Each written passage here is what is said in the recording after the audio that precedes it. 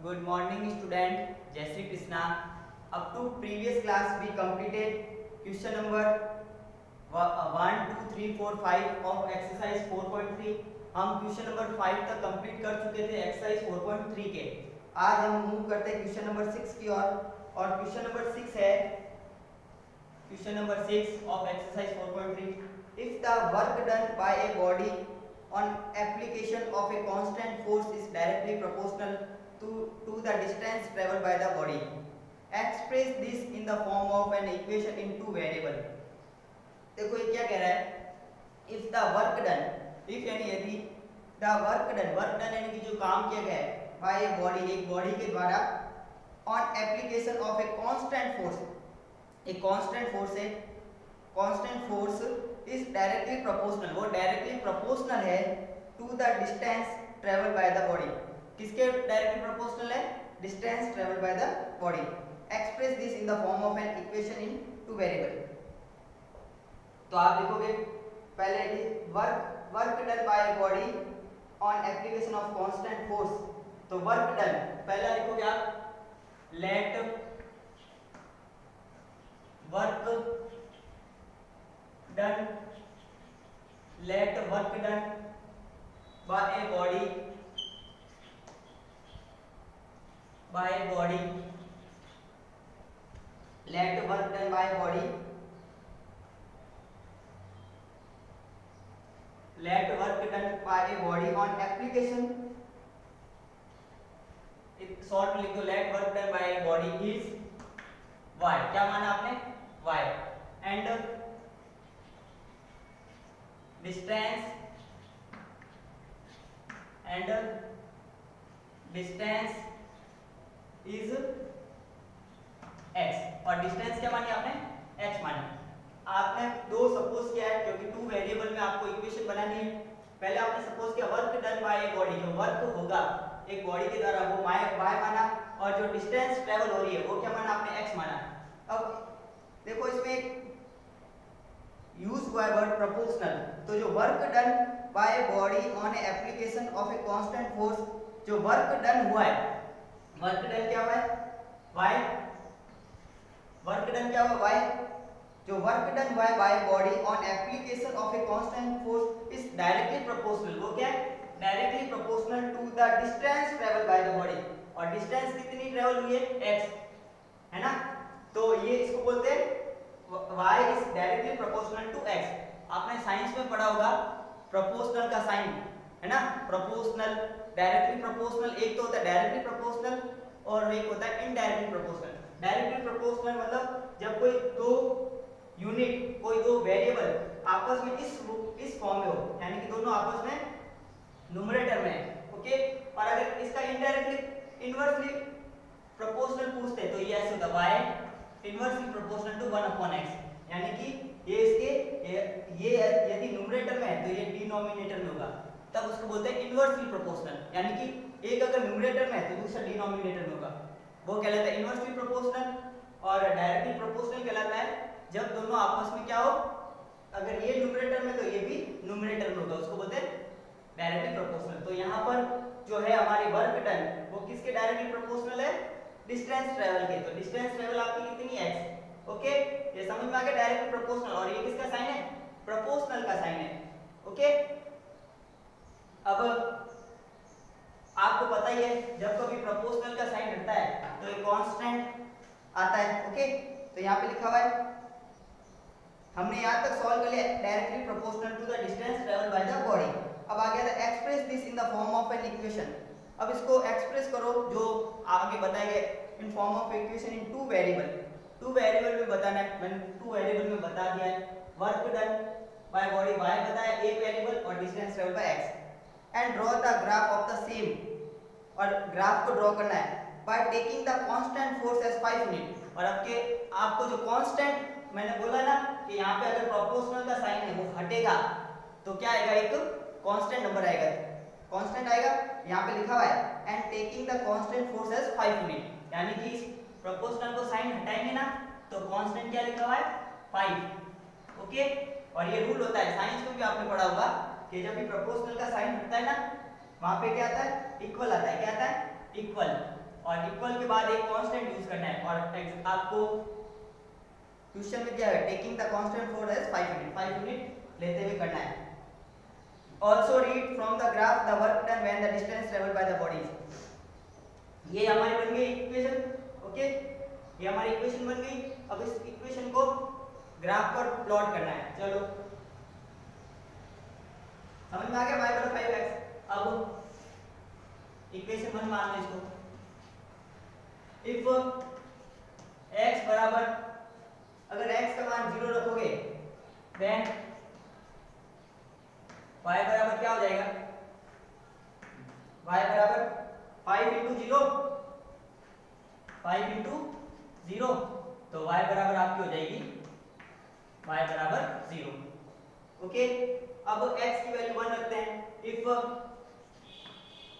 x बराबर, यहाँ पर x की वैल्यू वन रखें।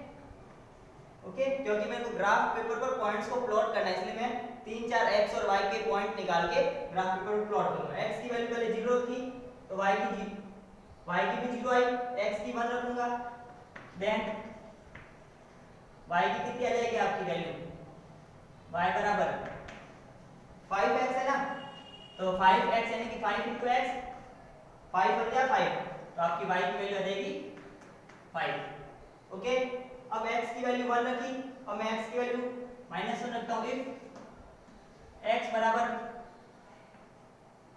इफ़ x बराबर माइनस वन x की वैल्यू क्या रखता हूँ? माइनस वन देन y बराबर क्या हो जाएगा? 5 into minus one five into minus one five बन गया फाइव तो y आपकी वैल्यू हो जाएगी माइनस फाइव होगी कि नहीं होगी? ओके फाइव बन गया फाइव और इसके आगे प्लस ये पॉजिटिव है, और ये नेगेटिव है.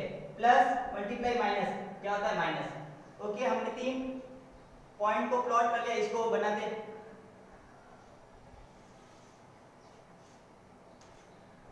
तो हमको फिर टेबल कैसे था?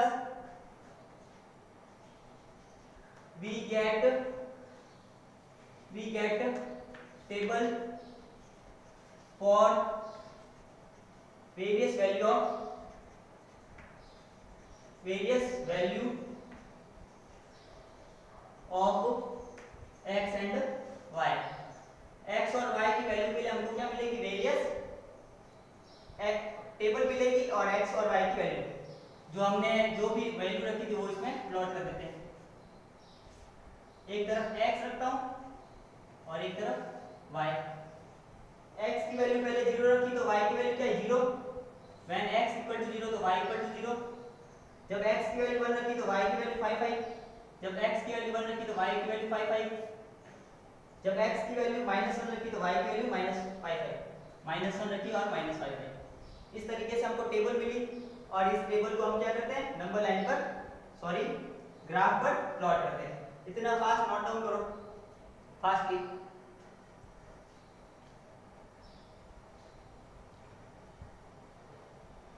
या स्क्रीनशॉट ले लेना, मैं इसको रफ कर लेता हूँ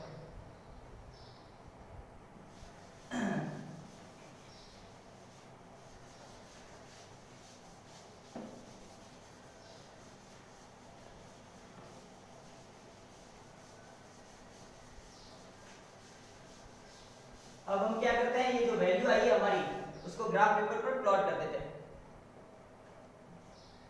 तो आपको पता है ग्राफ पेपर आपको बनाना आता ही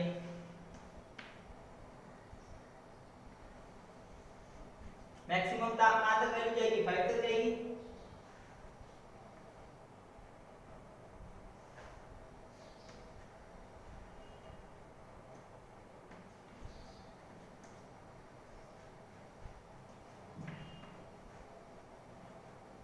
या zero origin point one two three four five minus one minus two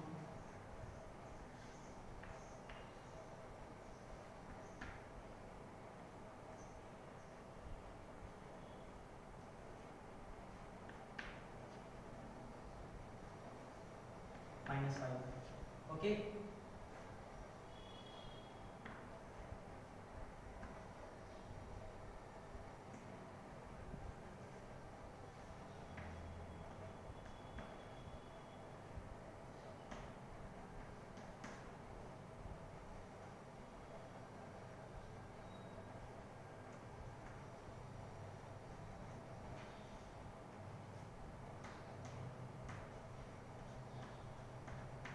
चलो। ओके ये मैंने ग्राफ बना दिया। ये x है।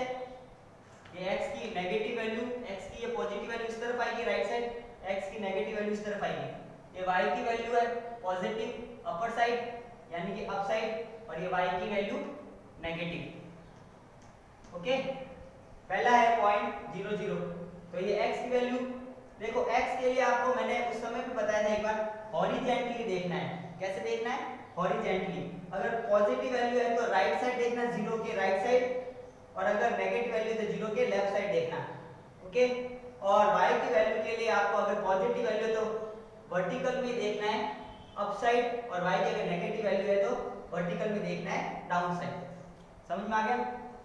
वैल्यू पुट करते हैं। y की वैल्यू x की ज़ीरो और y की ज़ीरो देखो x की वैल्यू ज़ीरो यही होगी ओके और क्योंकि हॉरिजेंटल लाइन में देख रहे हैं, और हॉरिजेंटल में ज़ीरो ये हॉरिजन पॉइंट सबका सेम है, और y के लिए ऊपर जाने की ज़रूरत नहीं है। ये y का भी यही है, क्योंकि हॉरिजन पॉइंट ज़ीरो ज़ीरो सबके लिए सेम होता है। तो ये y की वैल्यू क्या हो गई आपकी? ज़ीरो और ज़ीरो फिर आपको x की वैल्यू वन और y की वैल्यू फाइव प्लॉट करनी है। x की वैल्यू वन ये रही, यानी हॉरिजेंटल ये ऐसे हॉरिजेंटल देखा ना, ऐसे देखा ना, और y की वैल्यू फाइव अपर साइड देखोगे कि डाउन साइड अपर साइड देखोगे तो x, y की वैल्यू 5 x की वैल्यू 1 y की वैल्यू 5 देखो 5 ये रही और 1 के सीध 1 के उसी डायरेक्शन में होनी चाहिए, ये लो। ओके ये 1 के डायरेक्शन में लिखी मैंने। यू नहीं कि आप 2 के डायरेक्शन में चले जाओ, क्योंकि x की वैल्यू 1 है और उसी डायरेक्शन में अपने ऊपर जाना है, इसी डायरेक्शन में। देख लो इसको डॉट डॉट करके मिलाओगे ना, उसी डायरेक्शन में फिर माइनस वन और माइनस फाइव एक्स की वैल्यू माइनस वन ये रही इसी डायरेक्शन में अपने को, देखो अब एक्स की वैल्यू माइनस भी थी इसलिए लेफ़्ट साइड देखा, और इसी डायरेक्शन में आपको नीचे आना है। देखो ये नीचे आए, उसी डायरेक्शन में आ रहे और माइनस फाइव तो ये आपके इधर आ जाएगा ऑलमोस्ट ठीक है? ये हो जाएगा माइनस वन और माइनस फाइव समझ में आया? X की तीनों वैल्यू को वाई की तीनों वैल्यू से प्लॉट कर दिया अब इनको आपस में जोड़ दो। ठीक है? ऐसे क्या मिलेगी? आपको स्ट्रेट लाइन मिलेगी। और एक और बात बता देता हूँ कि हमेशा आपको पहले पता है टू वेरिएबल में हम जब भी ग्राफ बनाते हैं तो हमारा पहले भी स्ट्रेट आ रहा था और आज आज भी हमने जो पॉइंट प्लॉट किया वो स्ट्रेट आया ओके अभी क्वेश्चन फिनिश नहीं हुआ है हमारा। Also read from the graph graph से रीड करो. The work done when the distance travel by the body is two unit अब देखो. अभी हमने क्या किया?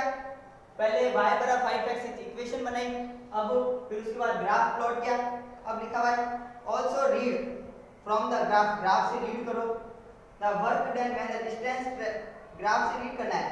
Read from the graph the work done जब work done when the distance travel the body is two unit work done कितना होगा? अब देखो इसका फ़र्स्ट है टू यूनिट तो बताओ वर्क डन कितना होगा? Y बराबर आपने क्या लिखा था? 5x है ना? पहली इक्वेशन बनी थी 5 कांस्टेंट था और एक्स ट्रेवल डिस्टेंस तो बताओ the distance travel by the body जब टू यूनिट आपकी होगी, क्या? डिस्टेंस है ये डिस्टेंस कितनी है? टू यूनिट होगी।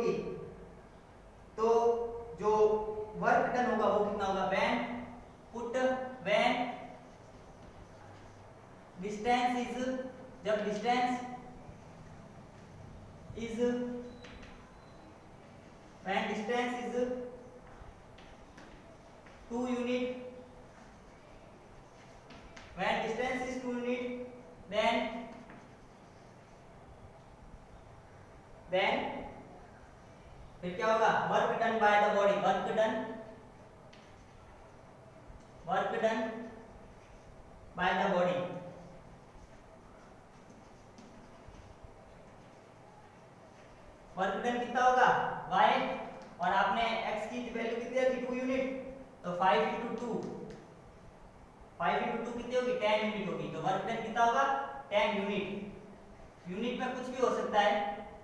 ओके अब आता है second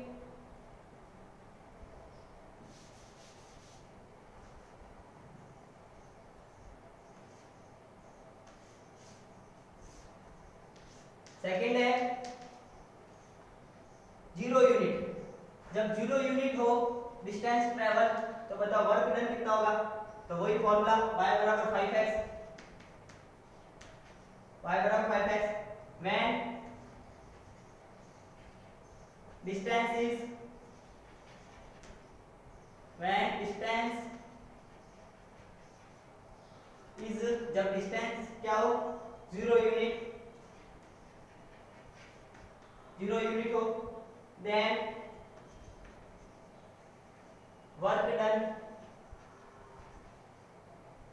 work done by the body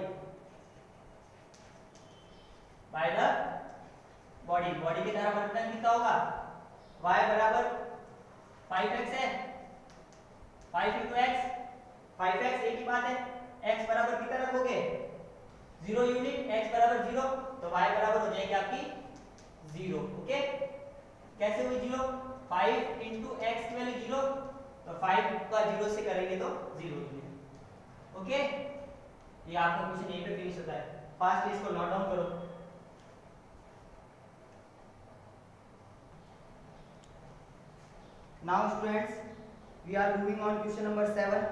The question number 7 is Yamini and Fatima are two students of class 9th of a school together contribute rupees 100 towards the Prime Minister Relief Fund to help the earthquake victim.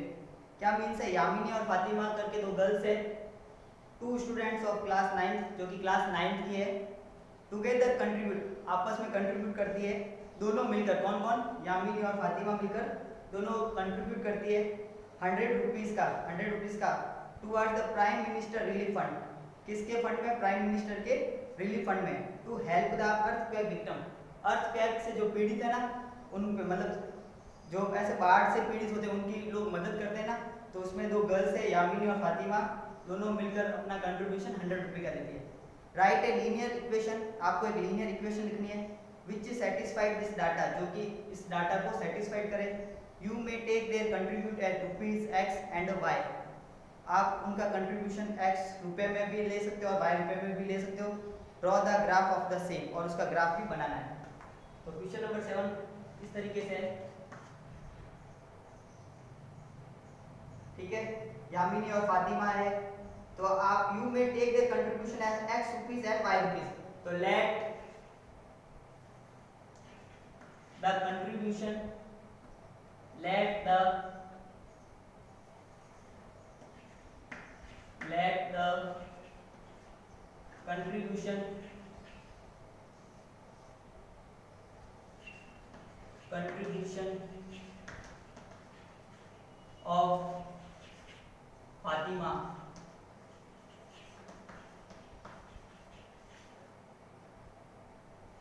is rupees x and the contribution the contribution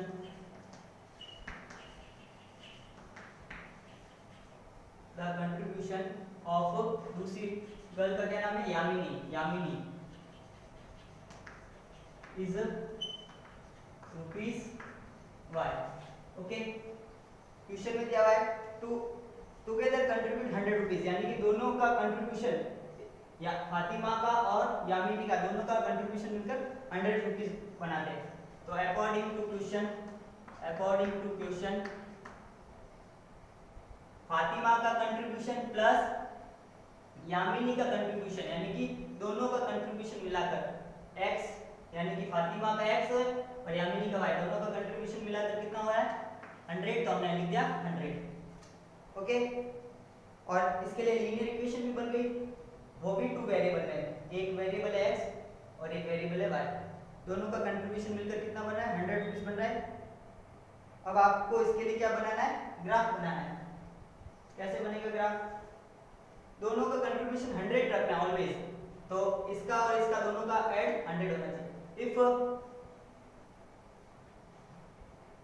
if x बराबर अगर x की value आप zero रखते हो, अगर x की value आप क्या रखते हो zero then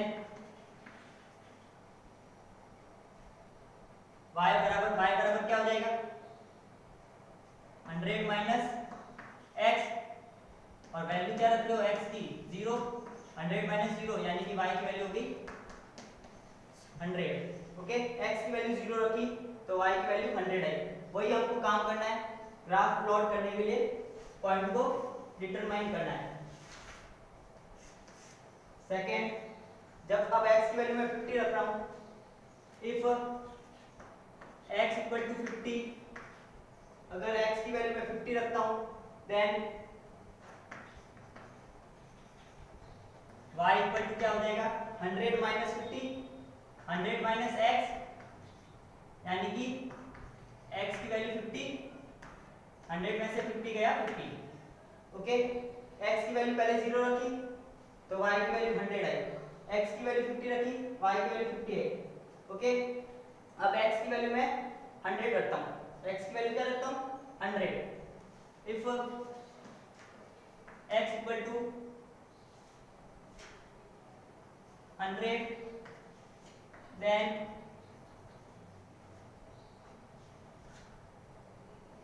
y equal to 100 minus x value 100 100 minus 100 y equal to 0 okay तो हमने तीन पॉइंट बनाए x की वैल्यू 0 तो y की 100 x की वैल्यू 50 तो y की 50 x की वैल्यू 100 तो y की वैल्यू कितनी आ गई? 0 आ गई ना? So we get table for various value of, various value of x and y. x और y की वेरियस वैल्यू के लिए हमको क्या मिल गया? एक टेबल मिल जाएगी। यहाँ पर लिख दिया x और यहाँ लिख दिया y x की वैल्यू पहले क्या रखी थी आपने? ज़ीरो तो y की वैल्यू हंड्रेड फिर x की वैल्यू 50 तो y की भी 50 ओके और x की वैल्यू 100 तो y की वैल्यू 0 आप हमेशा देख रहे हो, दोनों का कंट्रीब्यूशन मिलकर 100 बन रहा है। 0 और 100 100 50 और 50 100 100 और 0 100 अब इस पॉइंट को मैं क्या करता हूँ? टेबल पर ग्राफ पर प्लॉट कर लेता हूँ। ओनली मैं इसको रहने देगा, बाकी पूरा रफ कर लेता हूँ।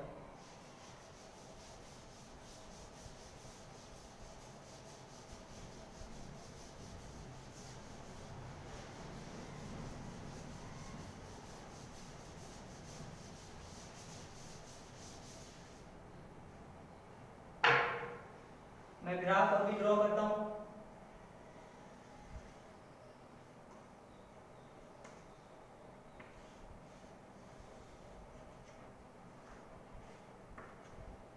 ओके कहाँ तक जाना है आपको 100 तक जाना है ना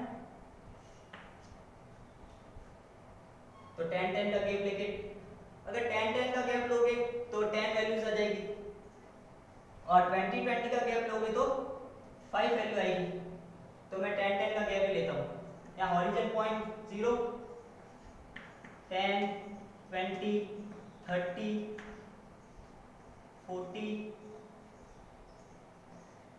fifty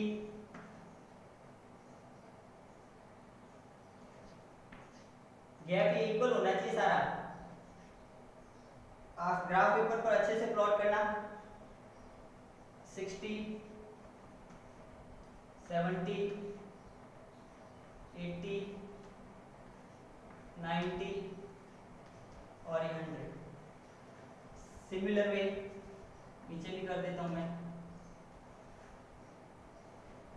Minus ten minus minus ten minus twenty minus thirty minus forty minus fifty minus 60 minus 70 minus 80 minus 90 or minus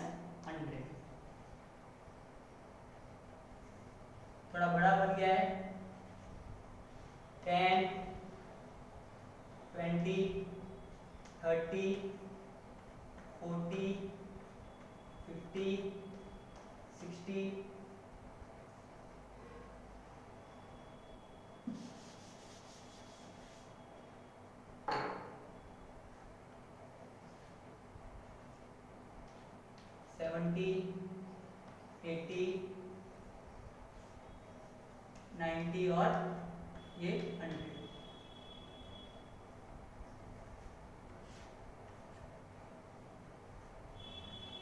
minus ten minus twenty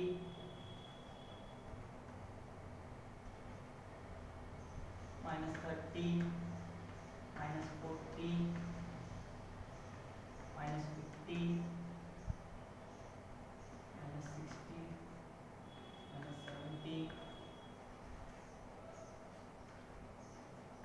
minus eighty minus ninety और माइनस हंड्रेड अगर आप चाहते तो इसको 20 20 का गैप लेकर भी बना सकते थे तो 0 20 40 60 80 और 100 इस तरीके से बन जाता। मैंने 10 10 का गैप लिया है। आप ग्राफ पेपर पर इसको 20 20 का गैप लेकर अच्छे से बनाना।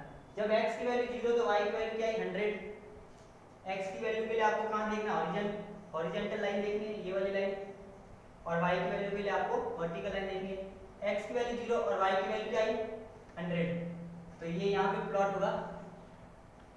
ज़ीरो और हंड्रेड ओके ये यहाँ प्लॉट होगा क्योंकि ज़ीरो के डायरेक्शन में जाना है और वाई के लिए हंड्रेड एक्स की वैल्यू फिफ्टी वाई की वैल्यू फिफ्टी एक्स की वैल्यू फिफ्टी इसी डायरेक्शन में हमको जाना है और वाई की वैल्यू फिफ्टी देखो, इसी डायरेक्शन में गया और ये वाई की वैल्यू यहाँ आ जाएगी यहाँ और फिर थर्ड एक्स की वैल्यू हंड्रेड और वाई की वैल्यू ज़ीरो x की वैल्यू 100 x की वैल्यू क्या है? 100 और y की वैल्यू 0 तो वही बात हुई। देखो, x की वैल्यू 100 x की वैल्यू 100 कहाँ होगी? ये रही। और y की वैल्यू 0 और y की वैल्यू 0 कहाँ होगी? यहाँ होगी। तो x की वैल्यू 100 यहाँ होगी और y की वैल्यू 0 यहाँ पे प्लॉट होगा ये ये पॉइंट कहाँ प्लॉट होगा? यहाँ प्लॉट होगा x की वैल्यू 100 और y की वैल्यू 0 क्योंकि ऊपर, देखो, x की वैल्यू 100 यहाँ हो गया। अब y की वैल्यू 0 यानी ऊपर जाने की ज़रूरत ही नहीं है, क्योंकि यहाँ पर y की वैल्यू ऐसा वर्टिकल में जाते और वर्टिकल में ये तो हॉरिजॉन पॉइंट पर ही y की वैल्यू 0 आ गई। Y की वैल्यू 0 यहाँ हॉरिजॉन पॉइंट पे आ गई तो यहीं पे प्लॉट होगा अब इसको आपस में मैच कर लेना तो आपकी क्या आएगी? एक स्ट्रेट लाइन आएगी ओके बस आज के लिए इतना ये दोनों क्वेश्चन आपको अपनी नोटबुक में करना है। थैंक यू बच्चों।